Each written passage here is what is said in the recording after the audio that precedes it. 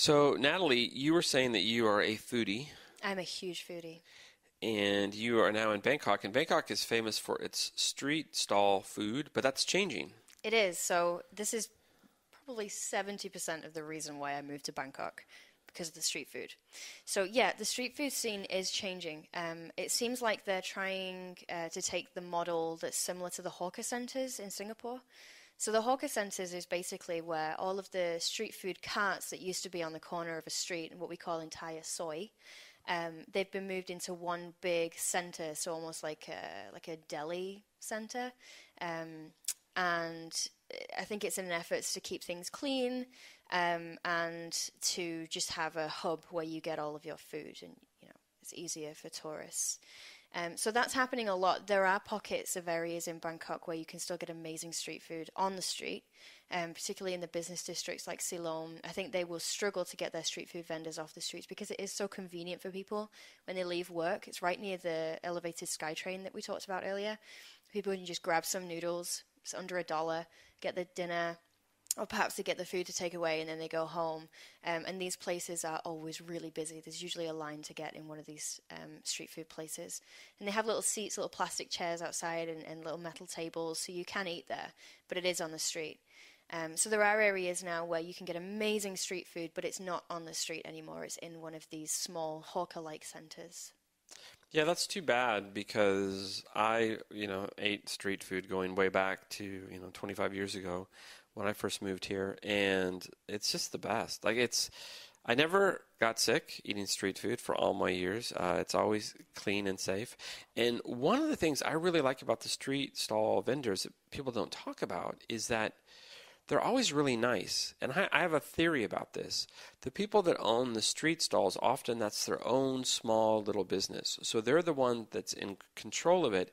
And I think mentally they're just happier people rather than if you go in some restaurant, the service can be quite poor yeah. because that person is, is kind of in servitude. They're not really yeah. in control of their little economic endeavor. So I love the street stall people because they're just so positive. Yeah, it does feel more entrepreneurial. Um, and these guys, something that I love about the street food as well, just while we're on the topic, is you walk down the street in Bangkok and there are all kinds of noises and there's all, there's color everywhere. All the cars, the taxis are super colorful. They're really famous for that. But then you will smell something, right? You will smell something being grilled, or you'll smell som-tam. So this is where they have the pestle and mortar, and they're mixing up um, papaya and um, salad and garlic, and the smell of fried garlic. I feel like every if if you want to sell something, just blast the smell of fried garlic out. You will get people in, and that's one of the things that I love about the street food here. Um, and as you say, it is really cheap. And the thing is, is these people have most likely been preparing this this food since the night before, right? So there is a huge misconception about street food being dirty, and obviously, there, of course, there are going to be places that have dirty street food and may, might make you sick. But the chances are these people have been preparing these ingredients at home and then they've brought them uh, onto their, their street food cart and they're selling them all day. So they really care about what they're selling. And people go back time and time again. And I can say that because I do. And I wouldn't go back if these people didn't make amazing food. Yeah, and if people were sick, right, then then they would lose their business. Yeah. You know, it's almost illogical because when people think that oh, the street food is is dirty, you can see the kitchen. You literally are sitting next to the cook in the kitchen. You can see everything they're doing right in front of you. Whereas in a restaurant, you have no idea what goes on in the kitchen. Yeah. So I can give you some advice for street food. Don't be scared of street food. Try it. But there are a couple of things that you can do to make it a little bit safer. So if you're getting something that's grilled, um, so we have something here called moo ping, which is pork, and it has a kind of like a, a, a, sauce on the top of it. It's like coconut and spices. It's delicious. And you get it for like ten baht. Um, put it. Sometimes it will be sat out, and it might have been out for a while. So maybe you're worried about dirt on it, or bacteria growing on it, or flies getting on it, something like that. The grill is usually on the cart, so ask the street food vendor, or just pick it up yourself and put it back on the grill. So that will the flames will kill off any bacteria that's on there. So put it on there for a couple of minutes, as long as you need to be happy, and then you can eat it, and it will be it'll be roasting hot. But you can be assured that there's nothing in it. And they often do that themselves. Yeah. Like, well, even if you don't ask, you'll. I've always wondered that they'll like, oh, they'll just flop it back on there really, yeah. really fast. Another thing that I love that they do in Thailand too is if you go to, it's similar to the streets of food. It's the hole in the wall place where literally it's a like a room with no door, mm. and it's a bit kind of an outdoor restaurant. Yeah. And they have the hot water bucket and you dip your spoon and fork in yes. the hot water bucket. It's the most brilliant idea. Mm. It's not like something that almost restaurants should do. Yeah, you know what I mean? Ingenious. Yeah, I yeah. love that. It's like, okay, let's just sterilize it real fast. Yeah, so the idea is that the water is usually hot or boiling, so it will yeah. kill any bacteria that's on it. If you go to a street food place and perhaps they don't have that, but they do have like a table and chairs set up, when you get you get a box usually or like a rectangular metal box and that has your chopsticks in it or it has your spoon in it or your knife uh, we don't use knives in Thailand. It would be a spoon and a fork. Um, just use a napkin, wipe it down before you use it. They will have cleaned it before. Um, you know, I've never had any issue, but if you're not sure, just wipe it down with a napkin. There are always napkins. Yeah, oh, it's it's so clever. So I'm here with Natalie, and she is working in Bangkok. And how long have you been here? I've been here about ten months.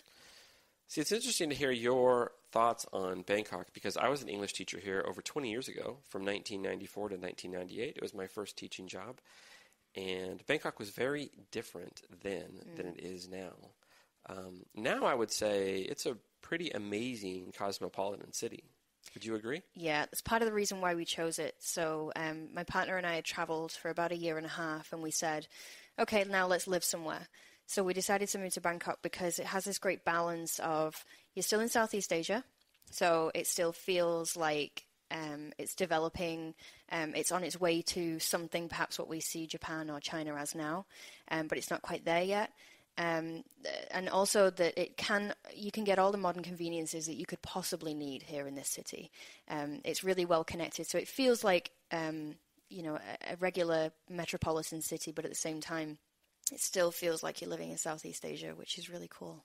It has done an amazing job of one becoming this just bustling, beautiful, cosmopolitan paradise. I mean, it's uh, the skyline was not here 25 years ago, so all the buildings that they've built are just amazing. So now it almost rivals Hong Kong or New York, and, and years ago they didn't have that. So in terms of the city planning, it's just phenomenal what they've done. But also, like you said, they've kept the kind of original cultural vibe Absolutely. to the city, which is pretty amazing. So you have different neighborhoods that you can live in. So there is the, I guess, the main artery of Bangkok is the SkyTrain. So we call it the BTS, and this is a, uh, I guess, what they would consider to be high-speed um, transportation rail system that goes right through the heart of Bangkok. So a lot of the neighborhoods that I would talk about are um, kind of populated around the SkyTrain. So you will have pockets of um, Bangkok that will feel very Thai. So they will be further out on the BTS SkyTrain, but you can still get to the heart of Bangkok where all the malls are, or perhaps where all the, the business areas are within, I don't know, 20 minutes. And obviously, with it being in Southeast Asia, it's still really cheap. So you can go way out into the areas that are super Thai. You get amazing street food. You'll see very few tourists. Um, and then you can, within 20 minutes, you can be in, say, the Japanese area, which is more expensive and it has a lot of Western restaurants, um, and obviously Japanese restaurants. 20 minutes later, you can be in the tourist center, um, where you'll see all the malls. And, so it's very accessible. Yeah, it is. It's interesting. Have, have you been to Dubai?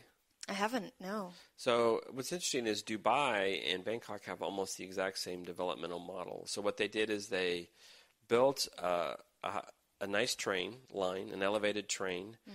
and then along the train they built a bunch of shopping malls yeah. and condos, and they built a, a world class airport mm-hmm. and made it a hub for travel to other areas. Yeah. And even though you know Dubai and Bangkok are such they're so different culturally.